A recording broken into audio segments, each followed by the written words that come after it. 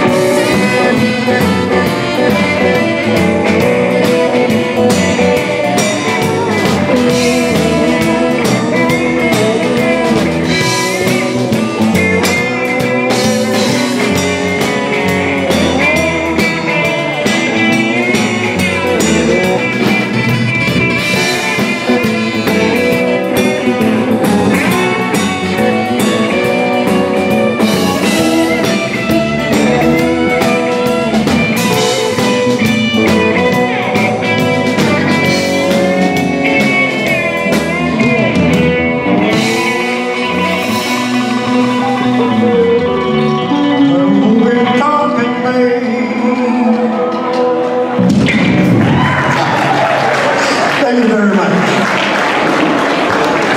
Change the pace a little bit right here uh, with a song that we recorded.